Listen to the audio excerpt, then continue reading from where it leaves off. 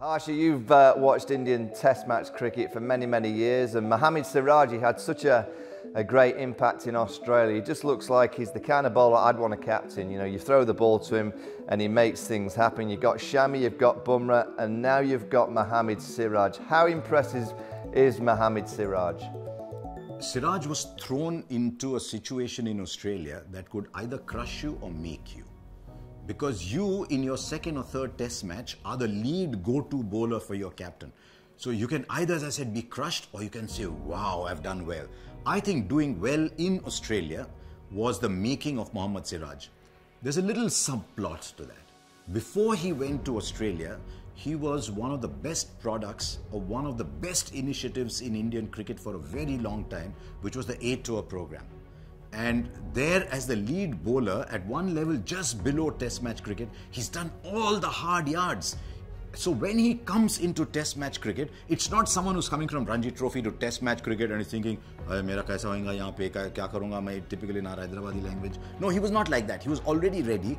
But those five wickets that he took in australia I think that was the making of him. So he comes here, he doesn't have the pressure of being the lead bowler. He's got to keep the pressure going. There's one other thing about Siraj. I've always felt Siraj, the red ball bowler, is, is a fantastic bowler because there is that natural speed to him through that arm speed, through that run up, that bustling action, and he doesn't get tired. Young man bowling long spells. I I wasn't, I was, I was surprised a little bit by Siraj in Australia. But after what he had done in Australia, I thought, wow, perfect third seamer, perfect passing of the baton. Ishant is coming to the end, Siraj is starting, and I thought, I thought Siraj was ready. And what he did that evening, literally pulling the game out and delivering it to Virat Kohli. I have one other theory that I cannot, I cannot substantiate, but I think all through his formative years, he's looked up to Virat Kohli. To him, Virat Kohli is this wow that someone else in another generation thought was Tendulkar. And you, he, he's gone on record as saying that when he came in the company of Virat Kohli, he was just gaping and he was looking and saying, This is Virat. Virat goes to his house, it's the biggest moment of his career. So I think Virat going and telling Siraj, You can win me this test match would have taken him, transported him to another level. So I think there was a role that Virat Kohli played at that point, but I thought Siraj was ready. And we, we don't give enough credit to the A Tour program.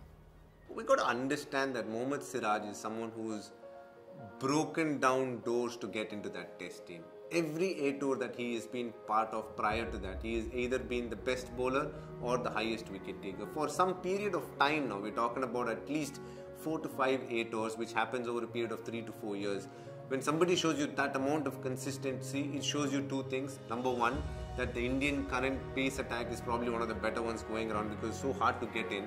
Number two, if somebody is able to do that for four to five years in NATO, then you know you have to know that he is somebody who's special.